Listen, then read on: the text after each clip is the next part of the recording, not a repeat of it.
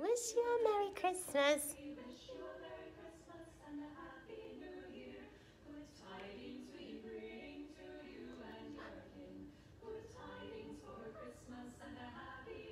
Merry Christmas to you and your family. I pray that you have a blessed, prosperous new year. Father God loves you with an everlasting love. And for Christmas, meditate on this scripture Isaiah 9 6. For unto us a child is born, a son is given, and his name shall be called Wonderful, Counselor, Mighty God, Everlasting Father, Prince of Peace. Yes, Jesus, our Lord, our God, who manifests in the flesh his love, the only begotten Son. We love him today because he loved us first. Remember that God is with you. He will never leave you nor forsake you. But Jesus is indeed the reason for the season.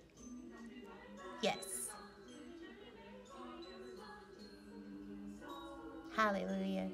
Have a blessed day.